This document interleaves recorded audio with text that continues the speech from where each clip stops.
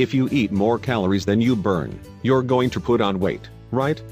Well, yes, but there are some simple diet and lifestyle tweaks that will help supercharge your metabolism, keep you from overeating and generally improve gut health so you're less likely to put on weight. Here is my 6-point plan that will give your system an overhaul, and help you keep off the pounds. Double up on fiber. An intake in fiber can slow the absorption of food inside the gut, reducing the release of sugar in the blood after eating. Studies also show that a diet high in fiber can increase the amount of healthy gut bacteria, which in turn can send signals to insulin receptors to regulate blood sugar.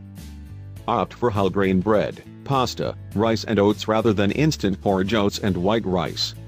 Eat plenty of fiber-rich, green vegetables such as leeks, artichokes, onions and garlic, and berries. Eat cheese and crackers. Combining foods that are broken down and converted to energy quickly, such as processed carbohydrates and sugar, with foods that are broken down slowly is an effective way of reducing a blood sugar spike.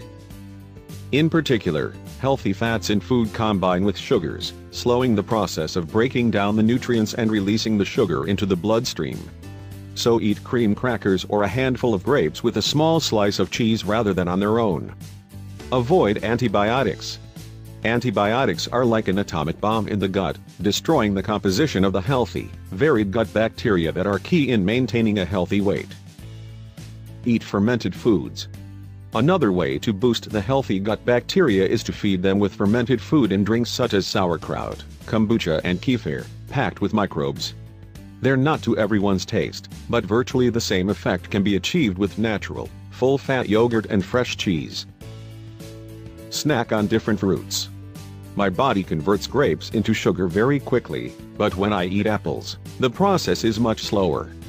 This is the case for most people. Different fruits vary in the speed at which they are converted to energy. Eat a wide variety of fruits and mix berries with nuts and seeds to avoid a consistent peak in your blood sugar. Exercise. Studies demonstrate that exercising shortly after eating can reduce the time taken to turn food into energy, due to a decreased flow of oxygen, which, when at rest, helps to release energy from food into cells. This results in more effective regulation of blood sugar, without the peaks.